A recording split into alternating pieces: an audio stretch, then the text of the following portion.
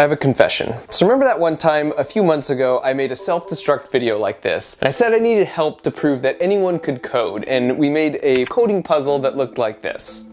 Well so the thing is I lied. I already knew you guys were smart and you could figure out the coding puzzle. We were actually secretly testing something else and the results were extremely fascinating and statistically significant. So as a refresher, your goal is to get this blue card to the finish line by building a simple computer program that used these coding blocks. And when you thought you had a good code, you would hit the run button to see if the car can make it all the way to the end using your commands. But here's what you couldn't have known. We secretly assigned six different versions of that test. Half the test had what we call school rules, which means if you hit run and your car didn't make it all the way across, you lost five points. The same way you lose points if you get a question wrong in school. And the other half are what we called mastery rules. That means you don't lose any points if you try your code and it doesn't work. There's no penalty for trying and failing. And the second knob we turned to vary the test was the messaging you received after you ran the code. Positive messaging encouraged you to keep trying and not give up. Neutral just stated if you were correct or not. And negative tells you to be careful not to mess up up and puts the focus on your failings. So think right now of these six flavors, which you think would have the highest or lowest success rates. And because over 50,000 of you engaged in this puzzle, the results you're about to see are highly significant from a statistical standpoint. Here's what we saw.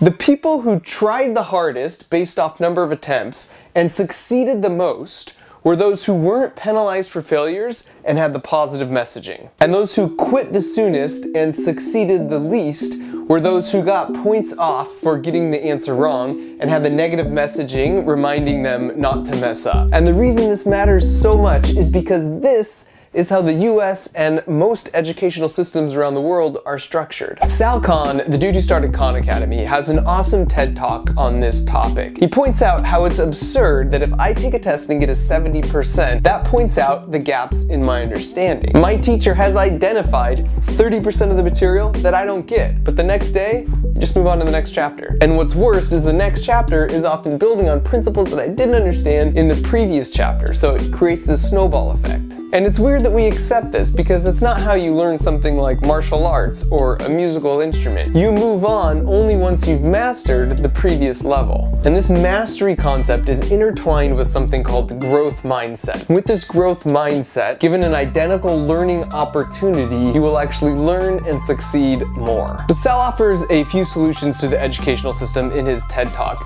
but one I really like is teaching more young kids to code with simple programs like our Blue Car example I personally think that learning to code should be a requirement in school, just like learning a foreign language is. Not just because it's super relevant in today's workforce, but it teaches you to think a certain way and really reinforces this growth mindset because you're testing and failing your code over and over again to quickly gain understanding and mastery. And to that end, my college buddy Kelly, and I want to be perfectly clear, I am not getting paid in any way to say this. In fact, I actually saw what he was doing and I asked what I could do to help. He started a free after after school program at his local library for young kids to learn and work together and teach each other how to code. And it was so successful and popular, they decided they would expand this program to any library that wanted to offer this free after school program for kids in their community. I've seen it in action and I think it's a big deal. And he doesn't want your money, this isn't some kind of lame Kickstarter thing. But if you look at the results of the test that you participated in and you think that learning to code is at least something that can help enforce this growth mindset and mastery learning, then helping get the word out to your local library is a huge help. So I had him create a simple web page where you can go on there and enter your zip code